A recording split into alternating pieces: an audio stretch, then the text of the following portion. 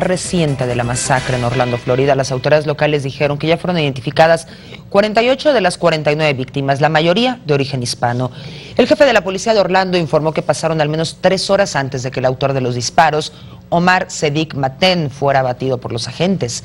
Señaló también que el agresor tuvo un par de enfrentamientos a disparos con la policía pero que una oportunidad salió con dos armas, disparó a las autoridades y finalmente cayó ante los impactos.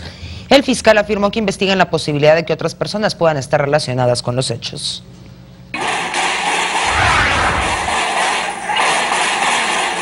Continúan las investigaciones por el atentado en Orlando, Florida. La masacre dejó 49 muertos y al menos 53 heridos. El atacante fue identificado como Mar Matin, que previo al ataque llamó al 911 para expresar su fidelidad al Estado Islámico. El grupo yihadista no tardó en atribuirse el atentado. En una transmisión de la estación pro yihadismo Al Bayan Radio, el grupo extremista aseguró que Dios ayudó a un soldado del califato a matar a 50 personas.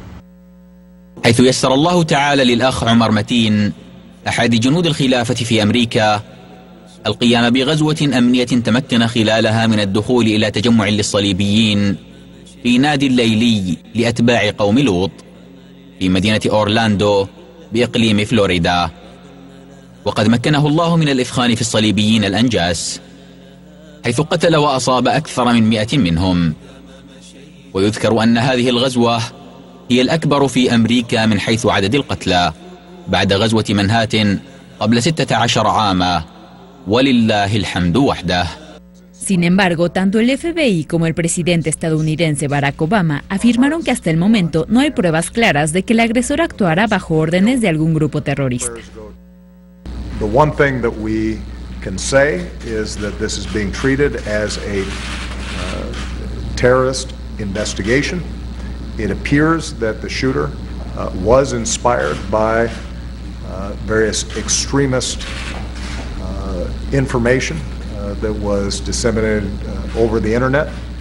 Uh, all those materials are currently being searched, exploited, so we will have a better sense of the pathway that the killer took. Sobre la investigación, el FBI detalló que fueron tres veces las que el atacante habló al 911. En las llamadas juró lealtad al líder de ISIS y a los agresores del atentado de Boston. So far, we see no indication that this was a plot directed from outside the United States, and we see no indication that he was part of any kind of network. It is also not entirely clear at this point just what terrorist group he aspired to support, although he made clear his affinity at the time of the attack for ISIL and generally leading up to the attack for radical Islamist groups. El atentado volvió a abrir el debate sobre lo simple que es comprar un arma en Estados Unidos, pues Matin compró su armamento con toda legalidad.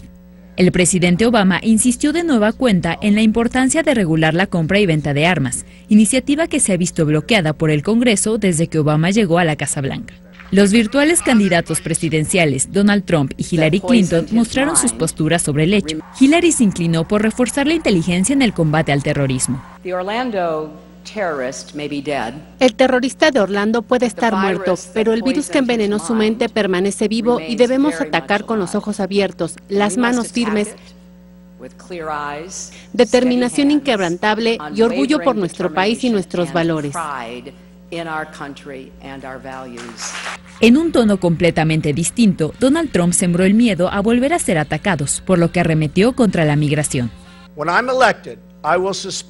Cuando sea elegido, suspenderé la inmigración de zonas del mundo donde existe una historia comprobada de terrorismo contra Estados Unidos, Europa o nuestros aliados, hasta que sepamos completamente cómo acabar con estas amenazas. Todas las posturas marcan el reto que enfrenta Estados Unidos. La intolerancia se genera dentro de su país y representa una nueva cara del terrorismo. Diana Jiménez, Excelsior Televisión. Te invitamos a seguir cuestionando la información con los siguientes videos.